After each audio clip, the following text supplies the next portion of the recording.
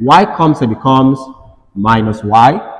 But already have that y is equal to 1 over x here.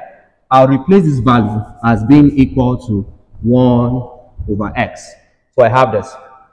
Now what next? We can get uh, from here, we'll have that change in y is equal to, the LCM would simply be equal to the product of both denominators. So it becomes x multiplying x plus change in x. This becomes your LCM.